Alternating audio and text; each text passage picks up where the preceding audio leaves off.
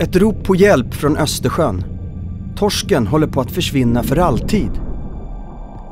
För 40 år sedan fanns det gott om torsk i Östersjön och de var ofta mycket större än vad de är idag. De hade stora områden som de kunde leka på och bidrog till att andra djur och växter i Östersjön hade det bra. Men sedan dess har torsken fiskats för hårt och nu håller något hemskt på att hända. Torskarna har blivit mycket mindre och förökar sig när de är betydligt yngre. Det är ett tecken på att de är stressade.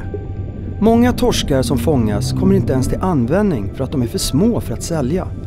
Varje år slängs miljontals döda småtorskar illegalt tillbaka i havet. Dessutom är torskbeståndet redan försvagat på grund av övergödning, syrebrist och döda bottnar i Östersjön. Om vi inte gör något snart kan det vara för sent. Torsken har en viktig roll i Östersjöns ekosystem. Om den får återhämta sig leder det till mindre algblomning och ett mer välmående hav. Det skulle alla, torsk, Östersjö, fiskare och samhälle vinna på i längden. Världsnaturfonden WWF arbetar för att väcka liv i Östersjön och för att rädda torsken. Det här kan du göra för att bidra. Ät inte torsk från Östersjön. Uppmana våra politiker att agera för att rädda Östersjötorsken.